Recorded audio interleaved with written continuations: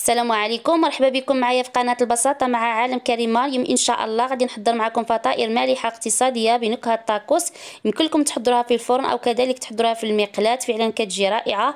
لا عجبتكم الوصفة ديال اليوم ما تنساوش لايك الفيديو. كذلك إلا كنتم مازال مشتركين في القناة تشتركوا في القناة وتفعلوا الجرس باش يوصلكم كل ما هو جديد. انتقلوا الفيديو باش نتعرفوا على المقادير وكذلك طريقة التحضير فرجه ممتعة. نحتاج هنا كمكونات 500 غرام ديال الطحين ما يعادل 5 الكيسان ديال العنبة. ملعقة صغيرة ديال الملح ملعقة كبيرة ديال زيت المائدة وعندي هنايا الماء دافي لجمع العجين. طبعا العجينة ديالنا بدون دلك وكذلك بدون عجن. غادي نضيف الماء حتى نحصل على واحد العجينة اللي تكون طبعا ما تكونش قاصحة وكذلك ما تكونش رطبة بزاف. يعني عجينة ديال بحال العجينة ديال المسمن عادية.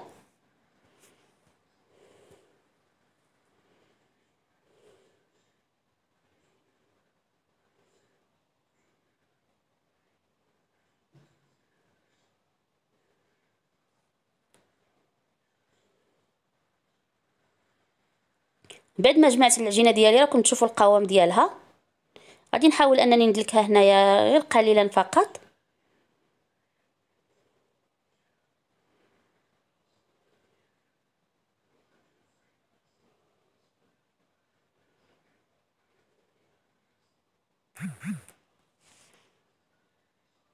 وغادي نوضعها هنا في البلاستيك الغذائي ونخليها ترتاح على ما نوجد الحشوة. ونرجع معكم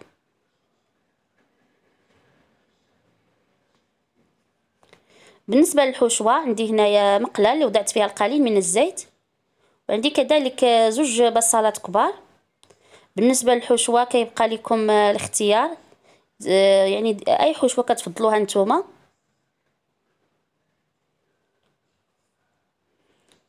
وغادي نضيف القليل من الملح ونخلي هاد البصلة ديالي تشحر مزيان.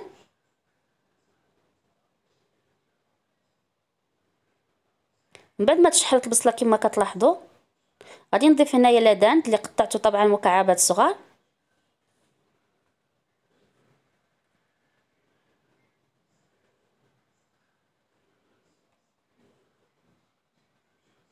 يمكن لكم تستعملوا أي حشوه كتفضلوا غادي نضيف هنايا القليل من الكركم أو الخرقوم. كذلك القليل من السكينجبير والقليل من الابزار وضفت هنا ملعقة من البابريكا أو التحميرة. والقليل من الثوم بودرة. ونخلط هذه المكونات جيدا.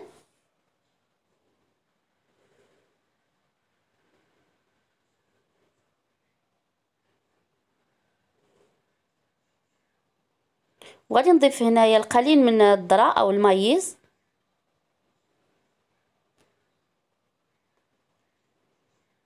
ونحاول أنني نمزج هاد العناصر جيدا. ونضيف هنايا حك ديال الياغورت.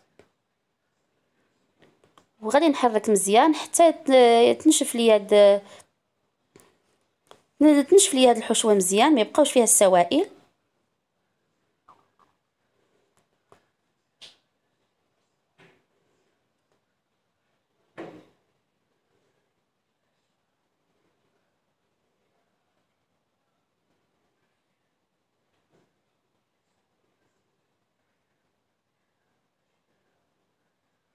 كما تلاحظوا الحشوة ديالنا يعني آه بدات كتنشف. غادي نطفي عليها النار ونخليها تبرد. من بعد ما ارتحت ليا العجينة هنا كما كتلاحظوا غادي نحاول أنني نقسمها كويرات.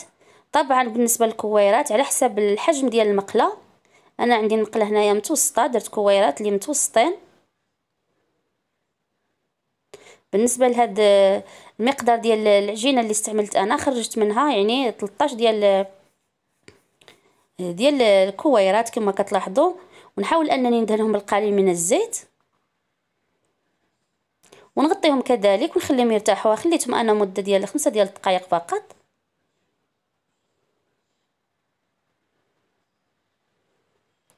وغادي ناخذ هنايا ورق الزبدة اللي حاولت أنني نقطعه على الإطار ديال المقلة ديالي. كذلك غادي ندهن القليل من الزيت وغادي نسرح هاد الكويرة ديال العجينة. نحاول كذلك أنني نسرحها تكون رقيقة.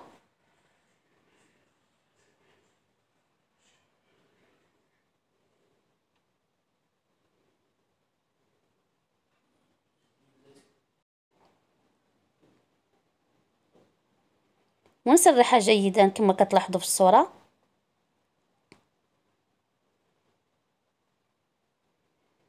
نحاول نسرحها على العبار ديال ديال ورق الزبدة اللي قطعت.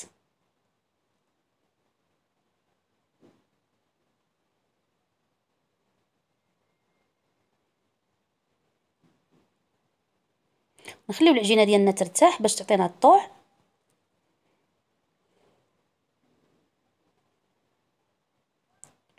وعندي هنايا مقله أنا اللي دهنتها طبعا بالزبدة. وبالأحسن تستعملوا مقله تكون غير لاصقه وندير العجينة ديالي لتحت وكذلك كما كتلاحظوا الورق كيكون الفوق العجينة كتكون منها المقلة. وغادي نحيد هذا ورق الزبدة كما كتلاحظوا كيتحيد معنا بسهولة. وكنلاحظوا أن العجينة ديالنا بدات كت يعني كما كتلاحظوا بدات كتنشف. ما نخليوهاش يعني تحمار غادي نقلبها للجهة الأخرى. كما كتلاحظوا لاحظوا أنها ما بقاتش بيضة. ونخليها هنايا غير واحد ربعة ديال الثواني فقط. وغنحيدها كما كتلاحظوا يعني كتجي بحال الورقة ديال ديال البسطيلة.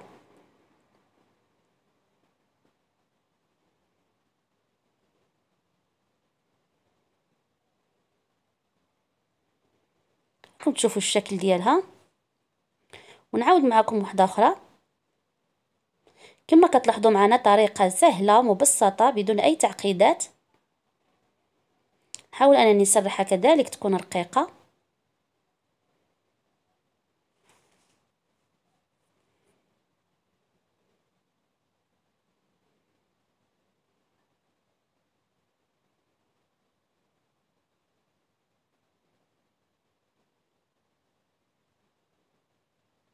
نلاحظوا أن العجينة ديالنا بدات كتنشف قلبوها للجهة الأخرى ونخليها مدة 4 ديال الثواني فقط.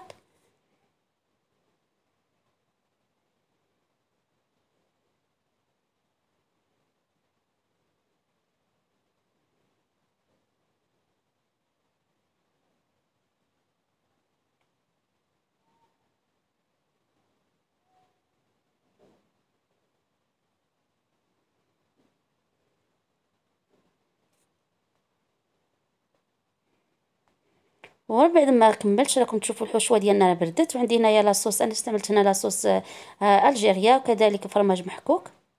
فرماج أحمر طبعا. وال راكم تشوفوا العجينة ديالي من بعد ما طيبتها.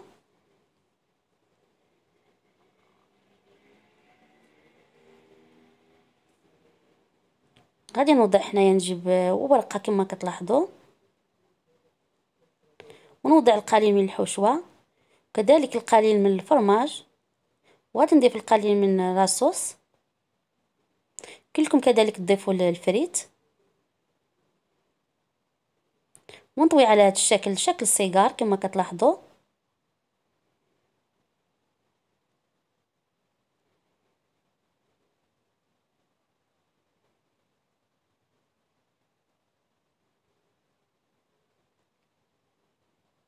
وغادي نوضعها في الصينية اللي دهن فرشت الورق الزبدة. يمكن لكم يعني كذلك ت... يعني تدهنوا المقلة بالقليل من الزيت وتوضعوهم في المقلة. أنا غادي ندخلهم للفران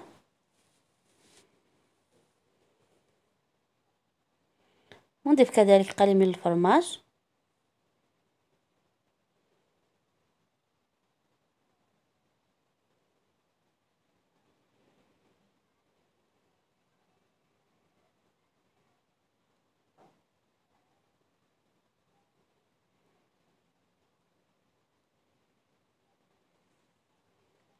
من بعد ما كملتهم كملت الكمية ديالي كاملة.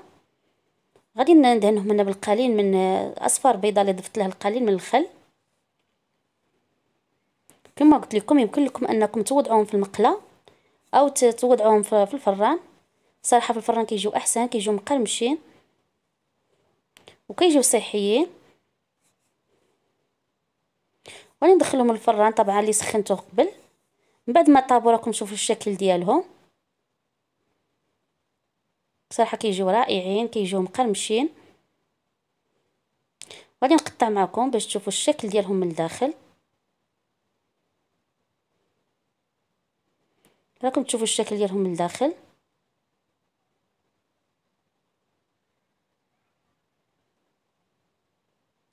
كنتمنى هذا الفيديو إن شاء الله يعجبكم. إلى اللقاء مع فيديو آخر إن شاء الله.